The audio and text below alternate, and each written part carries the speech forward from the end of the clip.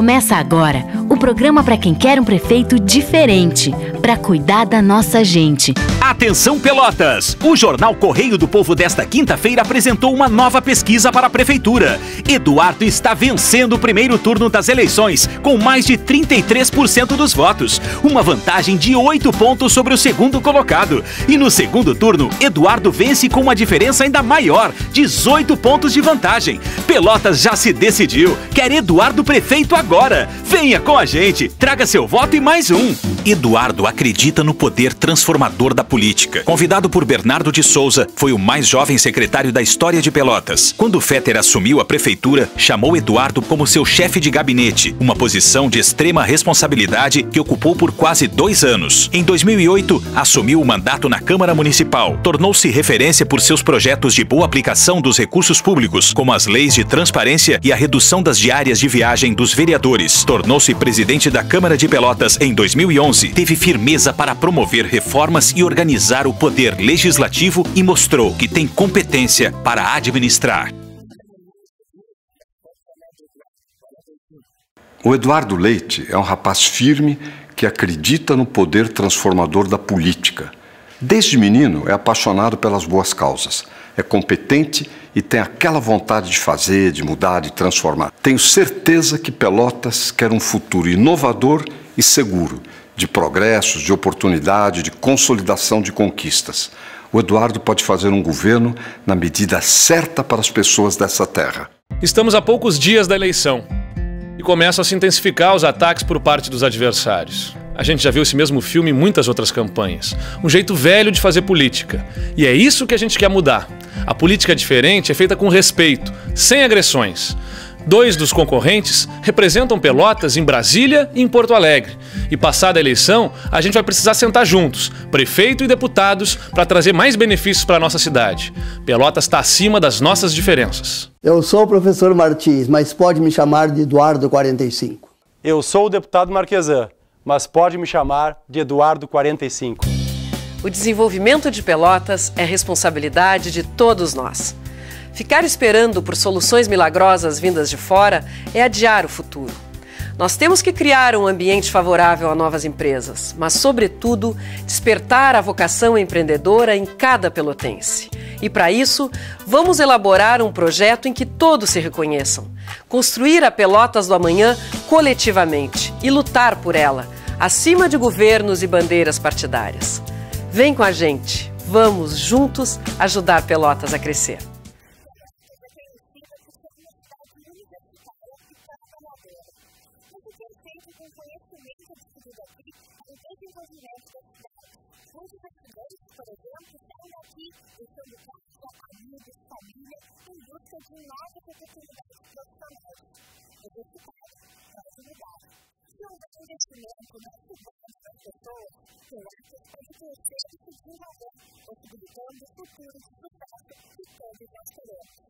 gostaria de saber o que pode fazer para incentivar o jovem a criar seu próprio negócio. Já se criou recentemente o Espaço do Empreendedor, junto à Secretaria de Desenvolvimento Econômico, Uh, que busca dar amparo, né, auxílio para as pessoas que querem iniciar o seu negócio ou que querem crescer uh, com o seu pequeno empreendimento e, e, às vezes não sabem os caminhos que devem adotar, incentivos, apoio mesmo financeiro, uh, aonde buscar, como conseguir, ou questões burocráticas que têm que ser vencidas. Esse espaço do empreendedor já existe e deve ser ampliado. A gente quer fazer o quê? Levar isso para os bairros através das próprias escolas, servindo como uma, uma forma de, de interlocução da prefeitura junto com os jovens e aqueles também que não são tão jovens, para terem o apoio necessário para poder ampliar os seus negócios ou criar o seu primeiro negócio. Eu ouço muitas pessoas falarem em trazer novas empresas para Pelotas. Tu acha que essa é a solução? É importante que a gente crie esse ambiente favorável para novos investimentos também de empresas de fora. A gente não pode ficar esperando que as empresas essas se instalem e essa seja a redenção né, dos problemas de empresa na nossa cidade. Não existe solução milagrosa, o prefeito não tem como mandar e determinar por decreto, por lei, que se instale alguma empresa aqui, não é por aí. A gente precisa criar esse ambiente favorável. Aqui em Pelotas a gente tem que olhar as nossas vocações, respeitar as vocações da cidade e poder incentivar. Por exemplo, uma das vocações que nós temos é para o turismo, através também da cultura. Duas coisas que a prefeitura precisa dar apoio, incentivar e reconhecer como atividades capazes de gerar emprego para nossa gente. Eu gostaria de saber o que poderia oferecer para ter mais qualificação na área do profissional. Então, Vanessa, a gente tem falado muito sobre criar um ambiente favorável ao desenvolvimento econômico na cidade. É isso que a gente quer fazer. Mas também não adianta ter um ambiente favorável se não houver as pessoas qualificadas para poder ser absorvidas no mercado de trabalho que é gerado a partir desse ambiente que a prefeitura quer gerar, junto com a cidade. Então, nós precisamos qualificar as pessoas. A gente quer poder fazer parcerias com o governo estadual e o governo federal para o ensino profissionalizante, técnico, e também com o Sistema S, o SESC, SENAI, enfim, esses serviços que colaboram para a qualificação profissional. Eduardo, eu gostaria de saber o que, tens de projeto para a questão do microcrédito porque o governo vem liberando, através da Prefeitura Municipal desse projeto, um subsídio para os pequenos empresários. Gostaria de saber qual é o apoio da Prefeitura, assim que esse crédito é liberado, se a Prefeitura tem algum compromisso assumido e poderá assumir esse compromisso com os empresários que estão recebendo esse recurso. O, o microcrédito foi um grande avanço, ele permite aí a, aos pequenos empreendedores acessarem a, a esse recurso né, de até 15 mil reais, com juro baixo, com facilidade para acessar. Mas também não pode se esgotar a iniciativa da prefeitura, o apoio, em liberar o dinheiro e depois que se vire o empreendedor. Tem que ter essa, este apoio permanente e o acompanhamento para que o empreendedor veja esse, a, esse crédito que ele recebeu dar frutos. Vote 45.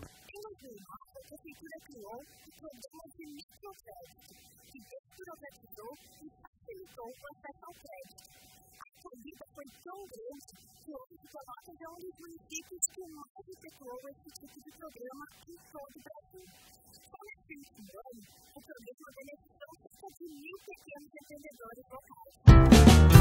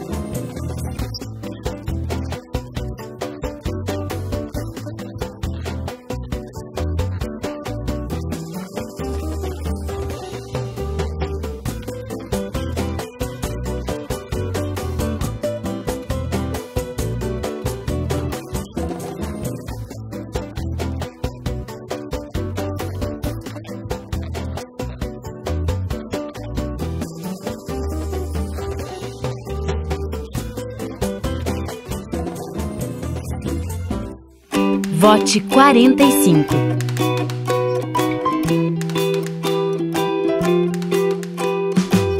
Eduardo vai criar o Parque Tecnológico, em parceria com instituições de ensino superior. Vai implantar cursos profissionalizantes nos bairros e aderir ao programa Primeiro Emprego, em parceria com o governo federal. Para gerar mais empregos, Eduardo vai instituir um programa de incentivo ao turismo e qualificação profissional na área vai capacitar jovens e requalificar adultos para novas vagas abertas no mercado de trabalho oferecido pelo Polo Naval. Desenvolver Pelotas é investir nas pessoas que fazem a cidade crescer com a força de seu trabalho.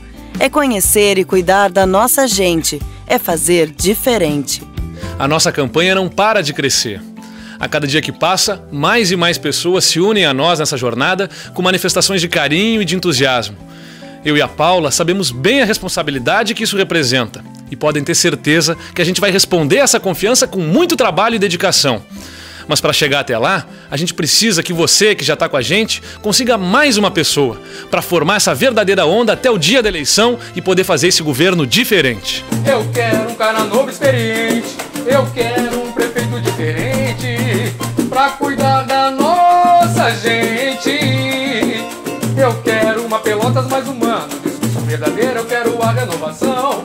Eu quero acordar pro novo dia, confiante que a cidade está em boas mãos. Eu quero você também, 45 pra ganhar. Pelotas melhor de viver, Pelotas melhor de morar. Vamos lá! Eduardo é experiente. Eduardo